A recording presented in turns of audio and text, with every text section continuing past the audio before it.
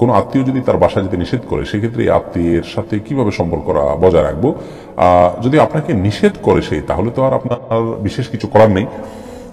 কিন্তু এরপরও যদি আপনি সদাচরণ করবার, সংযোগ স্থাপন করবার আপনার কোনো সুযোগ তৈরি হয়, সেটা আপনার জায়গা থেকে চেষ্টা করা উচিত। সালাম দেওয়া হাসি মুখে তার সাথে সুন্দর আচরণ করা, নিজের উত্তম আচরণ দিয়ে তাকে সন্তুষ্ট করা এবং মুগ্ধ করা, এই চেষ্টা আপনার অব্যাহত রাখা উচিত। কিন্তু আপনি আপনাকে যদি নিষেধ করেছে, গেলে আপনি দুর্ভার মুখোমুখি হবেন।